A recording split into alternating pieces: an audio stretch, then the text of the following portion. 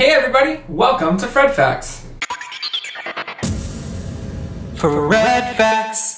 This week, the movie La La Land swept the Golden Globe Awards, winning a record-breaking seven awards for the evening, including Best Male Actor in a Musical, an award which Fred Astaire himself won three times, which we learned in yesterday's video.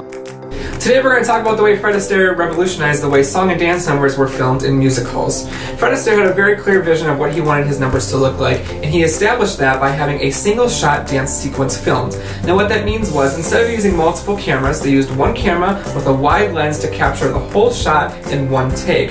Fred Astaire was once quoted saying, either the cameras will dance or I will, meaning we're either going to have multiple cameras at different takes doing lots of crazy things, or we're going to do it in one take with one camera to capture the full glory of it. Now, at the time, this was unheard of in movie making history, but Fred Astaire had a clear vision, he stood by it, and obviously, it paid off. Thank you for watching today's video of Fred Facts, and we'll see you tomorrow. For Fred Facts.